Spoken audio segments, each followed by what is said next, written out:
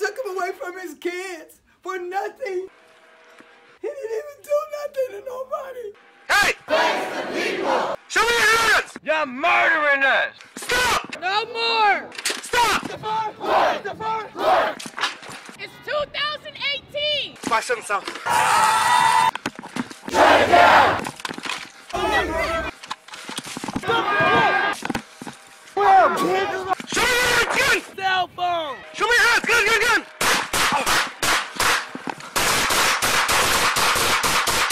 Five seven shots fired, subject down.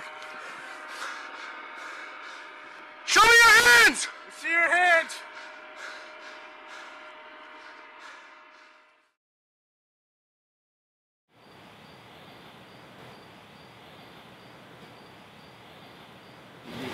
Hold on, let me get my fist. Right now, we're going uh, to the airport. Whatever I could do to help prevent something like this from happening again, I'm, I'm down. Part of my brother's legacy is bridging the gap, connecting people who usually would not be connected. I'm praying for you guys right now. Just want you to know. I I'm thinking about my brother. Um, whenever I go, anything, any type of events like this, Stephon is always in my heart. Stephon um, will live for generations long after I left this earth. So my thing is keeping his name alive in a positive light, and that's all. That's all I'm doing. I'm, I'm here as a vessel and a beacon for my brethren.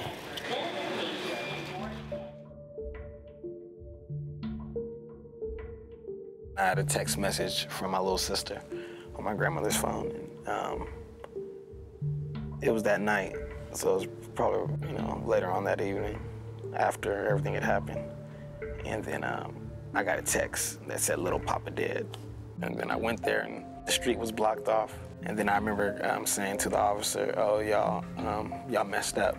I said a different word than that, but I remember saying y'all, y'all messed up, and um, and uh, that's how I found out. You know, I knew it was something wrong when the, how, how they were acting and reacting to me when I arrived at the scene. I knew something was wrong. Yeah.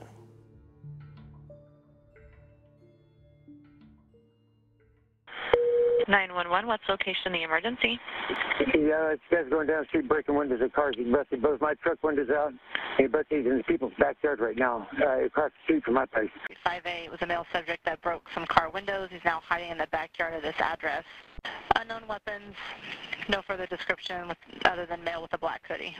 One house, one further house, to one yard to the south of uh, two units trying to catch him.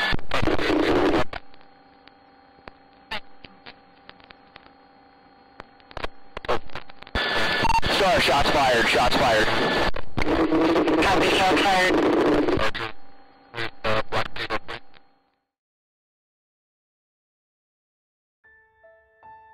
Lord, we ask you to look over Sequita, Lord, because we know what she going through. We ask you to look over Sequet, because we know what she going through. We ask you to look over Stevante. We ask you to look over Dad. We ask you to look over Jalen, Kaylin, Nevaeh, because these are the ones that got the rest of the night. As it turned out, when Stephon Clark was shot, of course, the police officers didn't know it at the time, but he was in his uh, grandmother's yard. I heard guns go pow, pow, pow, pow. And so then we was waiting on the police to come. But the police was already here. They did not tell me nothing was going on. They just said that it's been a crime scene. And that was it. They finally told me hours later that there was a victim dead in my backyard. And I said, I hope you guys ain't killed my, none of my grandkids because they go back there. And that's how we have to let them in through the garage because we can't hear them. Um, I, he going to tell me, you can't look in your backyard. I said, what you mean I can't look in my backyard? Soon when that man started going out this door, I opened up the curtain. That was my grandson. I opened up the curtain and he was gone. He was dead. His body was there, right there. Right there was my grandson dead with the iPhone right there on the thing. He was right there dead. And I told them officers, you guys are murderers, murderers, murderers. You guys killed that baby for nothing. You took him away from his kids for nothing. He didn't even do nothing to nobody.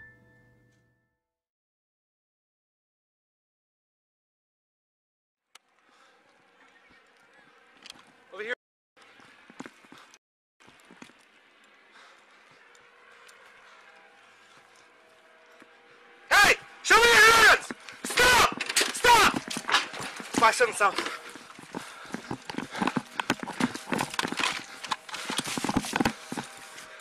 Show me your hands, gun! Show me your hands, gun, gun, gun!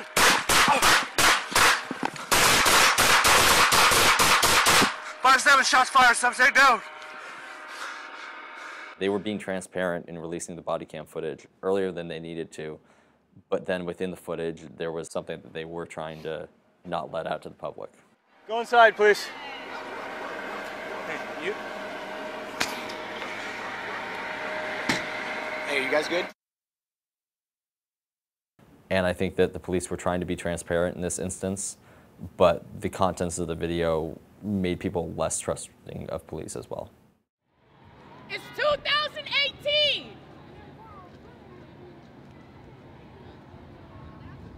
You know, something was in my head like, I gotta get out there and do something. You know, I gotta, my brother's voice needs to be heard in some way. And A lot of community members went down to City Hall and they started trying to get some answers from people at City Hall and chanting, and they had signs. No peace! No more! Then it, it went from there to the street, and it was all very peaceful, and people were marching on the street trying to let people know about who Stephon Clark was. Enough is enough! You're murdering us! and they started saying, let's take the freeway, let's take the freeway, let's go. And so they started marching towards the freeway on I Street, towards the bridge. That's some bullshit! And a brother like you did it! They kept trying to take over the freeway, and they were able to succeed. People were scrambling to get up there, and they marched onto the northbound lane of I 5, and the freeway was completely shut down. Shut it down! Shut it down! Shut it down! Don't shoot, it's a cell phone!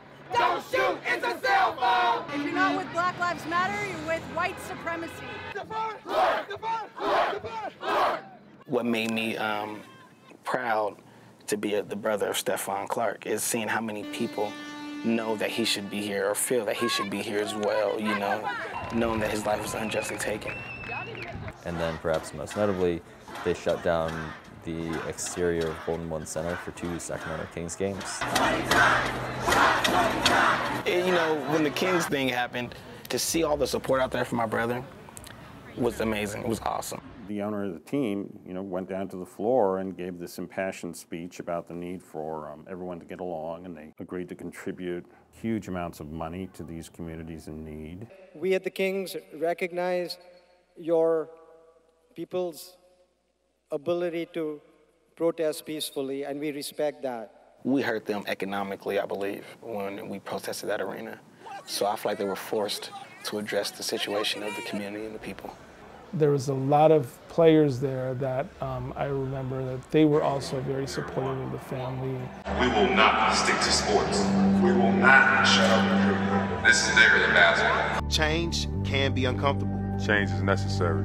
We need to talk. We need to act. We matter. We must unite. Say his name. Stephon Clark. Stephon Clark. And there was even a movement where, amongst the players, they wore shirts supporting uh, Stephon Clark. They had to do something. After when they shut that arena down, we plan on doing it again, and we're gonna do it again and again and again. I think they had to do something. United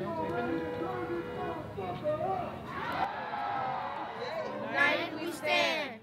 United we stand. Justice! Shut it down! I'm out here not because anybody told me to, but because I know that's what I need to do. The vocal force that I saw, it, it, I've never seen anything like that. Say his name! Stephon Clark! Say his name! Stephon Clark! No justice! No peace! Stephon Clark! Stephon Clark! I think when the police department released those videos, it allowed people to see for themselves as best they could what had happened that night. And there had been a building anger in the community about law enforcement shootings. We are on a mission, a mission to save Sacramento. Stephon Clark! Stephon Clark! Take back power! Take back power! Taylor, I got my phone. It looked like a gun to you? Cell phone! cell phone. All he had was a cell phone. At the end of the day, I really believe if SAC PD doesn't know the difference between a gun and a cell phone, they shouldn't be doing the job. They shouldn't even have the job, you know? Like, like it's a goddamn cell phone. like, like.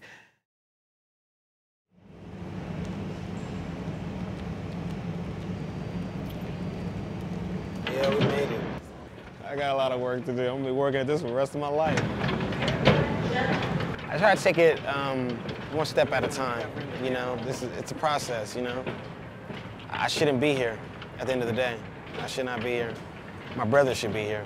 You know, all this is nice and all. Bridging the gap is nice, but it, you know, I'm 26 years old. It's not my responsibility to be trying to help bridge the gap between law enforcement and at-risk communities and underrepresented communities. I wouldn't wish this trip on my worst enemy, I'd say that much.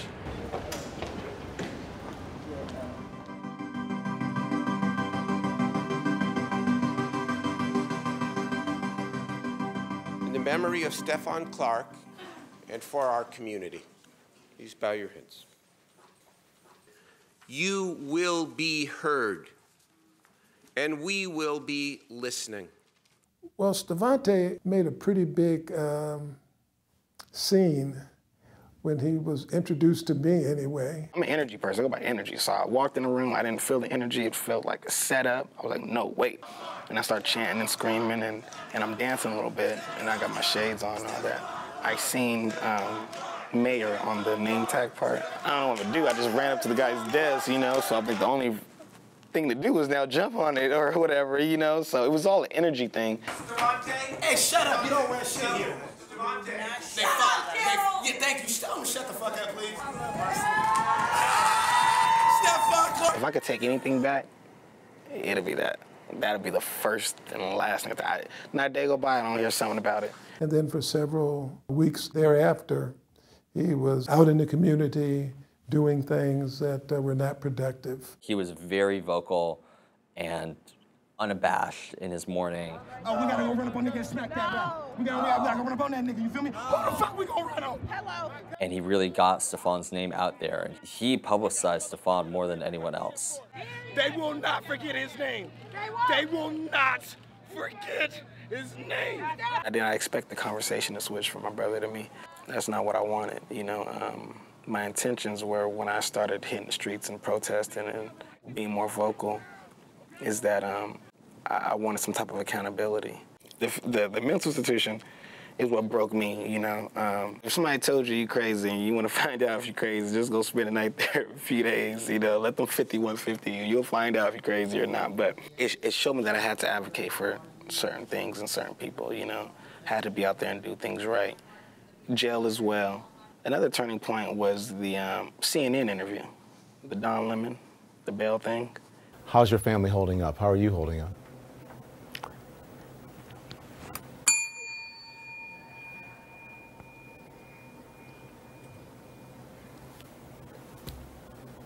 What does that mean? Next question. Everyone feels different and sees things different. You know, I was going through a lot at that time. I mean, like a lot, a lot. Like, I don't think people understand. You know, I had the family to deal with, the media to deal with, the Don Lemon situation, the mental institution, the mayor's desk, jail. These these are things that changed me forever. You know.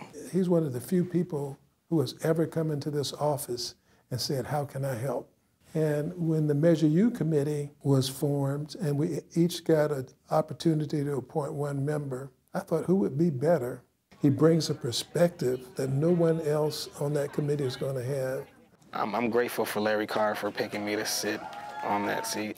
And I, I look forward to doing a lot of things. One of the main reasons I'm on that board is because I honestly would like to see a library either be commemorated or have something to do with my brother's legacy. Like I can't be mad at everybody. I can't fight everybody, you know. But what I can do is I switched that and I was like, everybody love everybody, and um, let's see how we can work together and bring some type of um, effective change in the Sacramento community. How do you prevent it? It's, it's a it's a question that we pondered with. The new police chief, Daniel Hahn, He's from the area. He's African American himself. People did think that he was going to be a reformer and come in. So Chief Hahn, explain to me, where's the change at?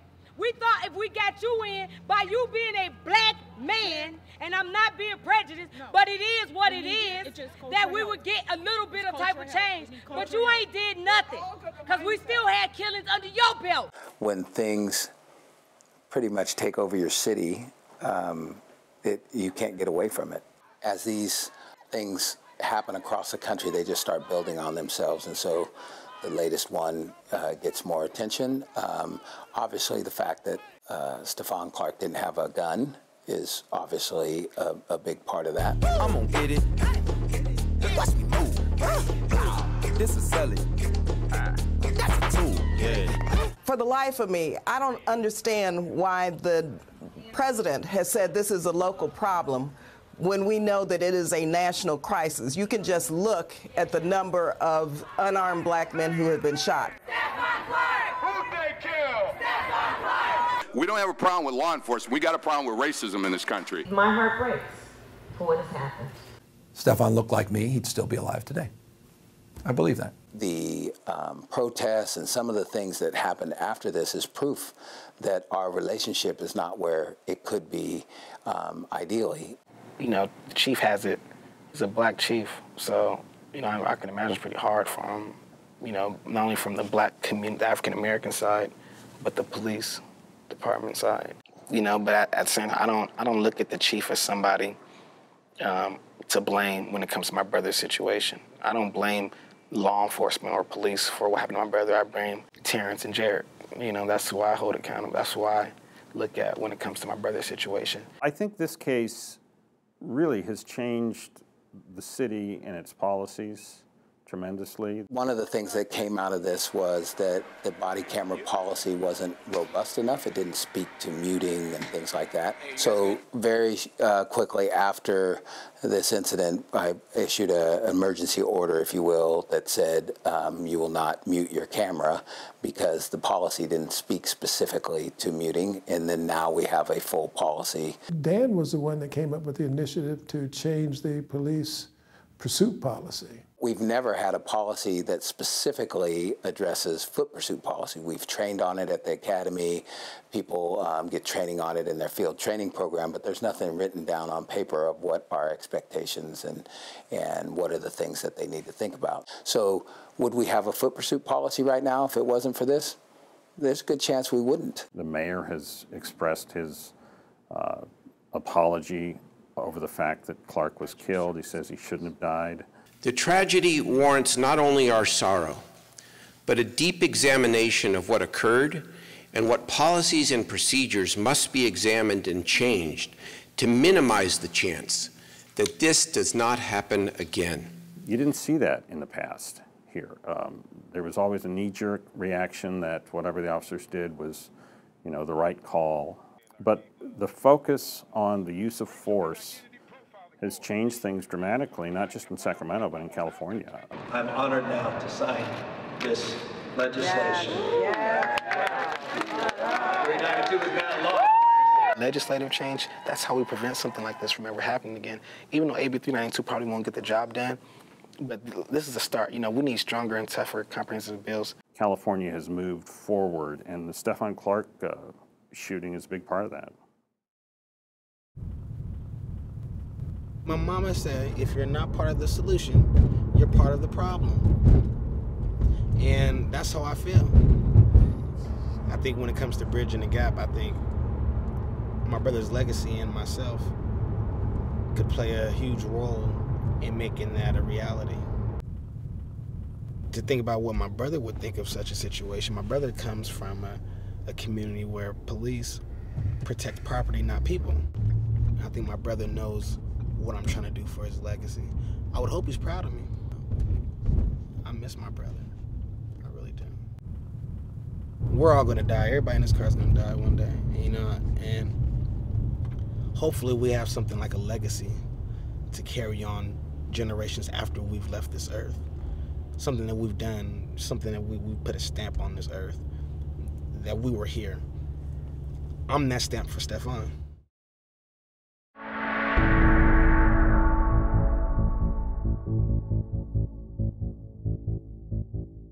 Was a crime committed.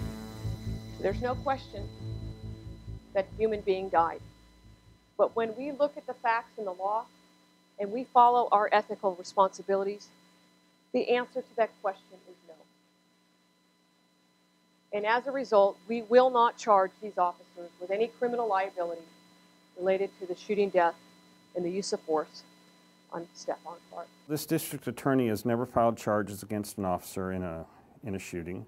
Um, it's difficult to say that their actions constituted a crime. In each case, the reviews have shown an officer feared for their safety.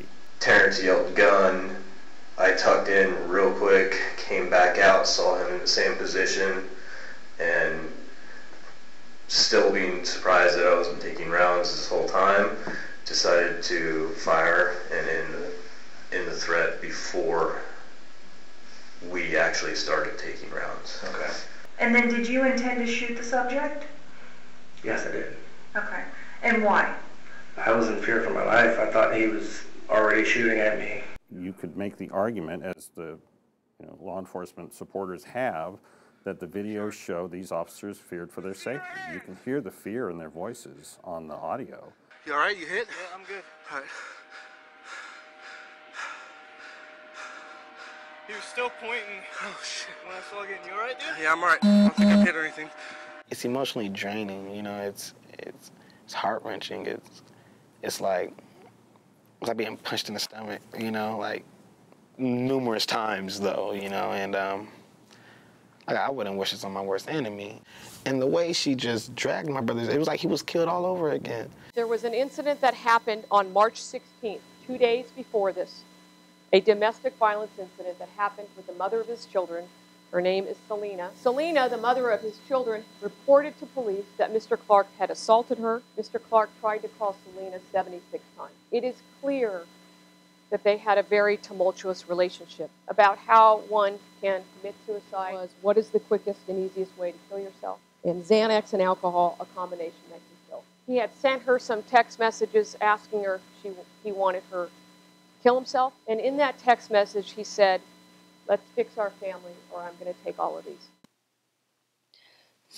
What I feel the DA announced today was not about what happened on March 16th, was not about what happened on March 17th. It was what happened on March 18th when the officers murdered my fiance, murdered Stephon Clark. And now he'll never come back to us.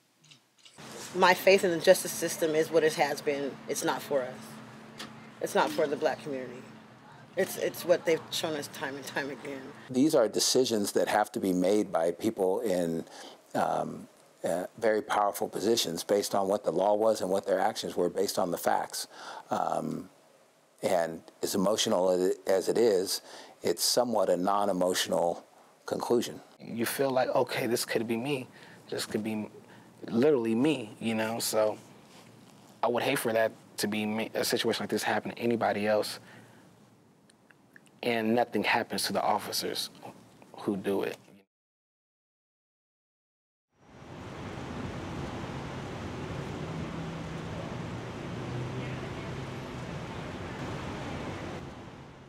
one of the important things that you're going to hear today is that we're not always on the same page in terms of how we get there. But we are willing to talk and to discuss those different ways in which we might reach that same goal. We're all here for the same reason. Stevante's brother, Stephon, uh, was shot in March of 2018 in his backyard by the Sacramento Police Department. Uh, and it was not long after Chief Hahn had taken uh, reins as the city's first black chief. We have a police chief who is, as an individual, is a trusted messenger uh, who has for years had done the work in the city, um, and then uh, but has now come into a position where um, he had this this very challenging situation. Yeah. Of course, To me, a healthy community is one where, as, as people grow up, they have hopes and dreams and they have the ability to chase those. And then it's up to them. But right now, I, I, in a lot of our communities, they don't have hope and they don't have an equal ability to chase those dreams. A healthy community to me is um, trust with the community and the ones who are sworn to protect and serve us. I don't see a lot of that, especially in Sacramento. Uh, you know, there's there's a total divide between law enforcement and community like myself. So a healthy community for me is a safe community, a community where, you know, you don't get shot over 20 or over eight times in your grandma's backyard, you know? I mean, the fact that Stevante is sitting on this stage, went through a transformational policing class with a room full of community members and police officers, not, not more than a year and a half after he lost his brother. I, and I guarantee you he's heard some things about himself repeatedly, over and over from every segment of our community, and he does it anyway. Um, my family's still emotional, very emotional. You know, Stephon is, there's not a day go by where we don't hear his name. It's pretty incredible that this family, after going through this, even has those conversations with me or this department and is even thinking about moving forward um, and what can we do to ensure this doesn't happen to somebody else. Obviously, we're not ready to police our own communities. And since we're not ready to do that, we need to accept the fact that the police are going to be here and we need to work with police in building these partnerships. You can have the best body camera and the best policy if we don't start understanding each other better, come together better, and are able to expand our experiences so we can have that trust, those other things won't mean anything. You know, we can't be just mad and mad and not talk and mad and fight against one another because that gets nothing done. You know, it gets nothing done. I want to get things done. Yeah, and um, I think that's one of the only way to get things done is to have the, the tough conversations with people like Chief Hahn. There are eight council districts in Sacramento. Of the eight council districts, District 8, which includes Meadowview, is always the second or third lowest in crime. I tell that to my community members because they don't believe it. And most of the people in the city don't believe it. Yeah, I feel like this happened in Meadowview. There's a, there's a systematic reason this happened in Meadowview. SAC PD, in my eyes, has failed tremendously when it comes to connecting with the people and the underrepresented at-risk communities, the people that live in the type of communities that I'm from. And our communities feel like they're more concerned about property than people. If we had the same trust in Meadowview as we do in some of our other communities, we wouldn't see some of the things that we see. No peace! You do see a movement, you see movement in the right direction. And uh, at the same time that we move in that direction, we also have to be sure we don't go too far. Our law enforcement officers face a very difficult job every day Anytime you have a tragedy, especially one of this magnitude where some where many things positive don't come out of it, then all you're left with is a tragedy. And what I respect so much about Stevante is I think he feels the same way. I think we're just now starting really. The dialogue is there. The dialogue is there. I think that's big enough, right? Like we can have the conversation now. I don't think we've even been having the conversation. Watch us. Watch what Sacramento does. Not just this police department, but this community and this family and watch where we are in years to come.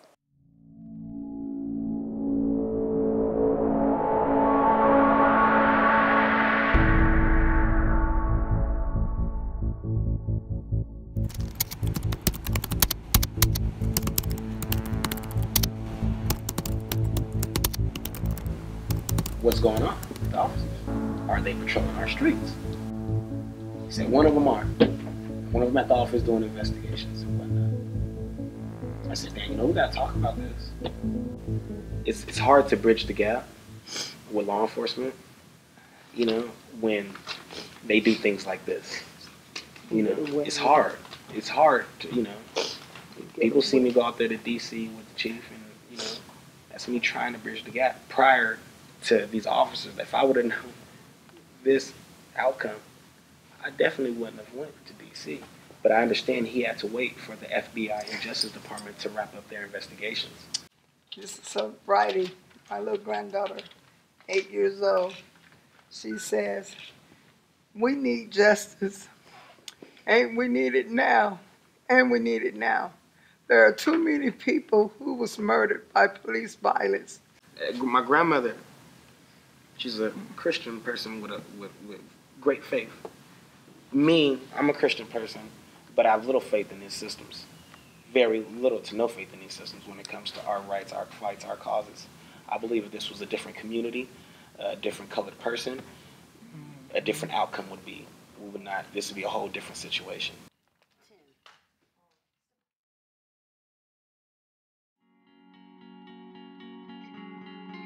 Justice for me is not a reality because I'd rather have my brother back, you know?